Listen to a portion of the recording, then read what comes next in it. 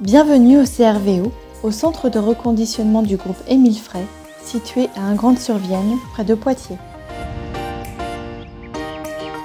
C'est un jockey qui achemine tous les véhicules à chaque étape du processus de préparation d'un véhicule d'occasion.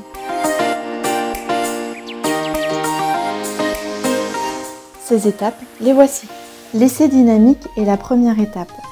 Le véhicule passe par un parcours d'obstacles ainsi que devant deux toiles tendues pour vérifier le comportement routier puis contrôler les systèmes ADAS.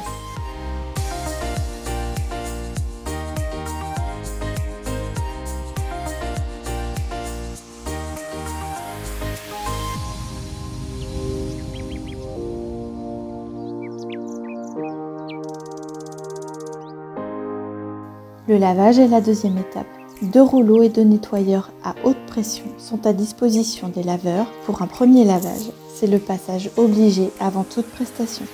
Le pôle expertise comprend 8 ponts et 7 experts qui sont dédiés à cette activité. Elle détermine la vie du véhicule au sein du centre.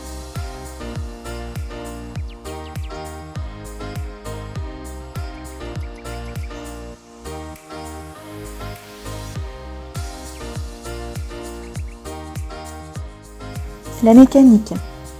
Huit voies sont consacrées à l'entretien, au vidange, mais aussi à la réparation de boîtes, des freins, etc.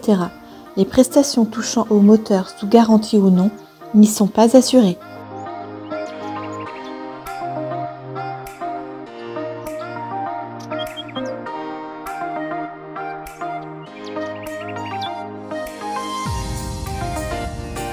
Voici le magasin de pièces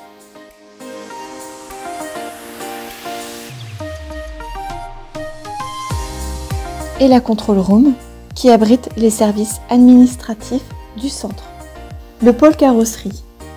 C'est le pôle qui comprend le plus de types de réparation et de technologies.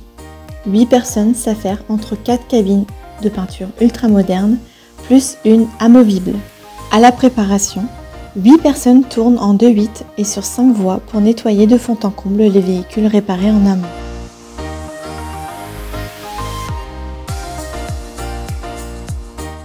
Au contrôle qualité sont jugés les véhicules conformes ou non à la vente en fonction de la liste des travaux à faire établie au préalable par les experts. Et enfin, la dernière étape, la photo, comprend deux cabines de photo à 360 degrés qui sont installées au fond du centre. Elles sont gérées en permanence par deux photographes. C'est donc la dernière étape du processus de reconditionnement avant la restitution des véhicules en concession.